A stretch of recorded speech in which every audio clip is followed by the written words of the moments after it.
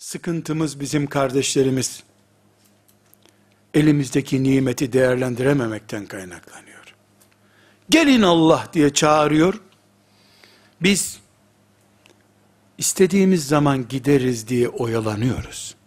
Halbuki bu davet bir keredir. La ilahe illallah Muhammedur Resulullah dediğimiz zaman geliyorum demiştik biz. Ayak sürçüp duruyoruz halbuki. Geliyorum dedik gitmiyoruz. Tam gideceğiz taksitler bastırıyor. Tam gideceğiz kızımız hazır Allah'a adandı. Yeni Meryem geliyor. Düğüne takıldı, gelinliğe takıldı, çeyize takıldı. Bilezikleri çitlere takıldı. Eyvah biz neler kaybetmişiz be.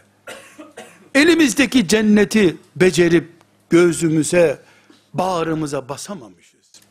Kardeşlerim, inşallah Rabbimden kerim olan Rabbimden niyazım odur ki, bu ayeti celileleri burada telaffuz ettiğimiz gibi, sadece hani diyorlar ya, nostaljik bir hatıra olsun diye, o günleri bir analım diye, inşallah cennetlerde de okuyacağız ve dinleyeceğiz. Bugün eğitimini göreceğiz, uygulamasını yapacağız. Beni çağıran Rabbime gitmeyi de becereceğim demektir.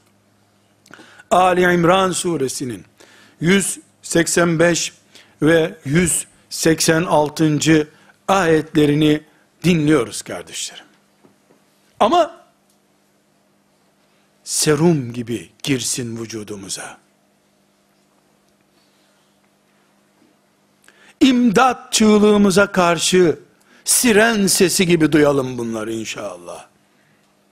Elbette herkesin kulağı imanına ayarlıdır. Hiç kimse imanından fazla duyamaz. Ebu Cehil lanetullahi aleyh yanı başında duyamadı Resulullah sallallahu aleyhi ve sellem. Uveysil Karni ise bin kilometre ötede Yemen'den duydu. Kulaklarımızın ayarı imanımızın ayarıdır. Az duymak, çok duymak organ meselesi değil, iman meselesidir.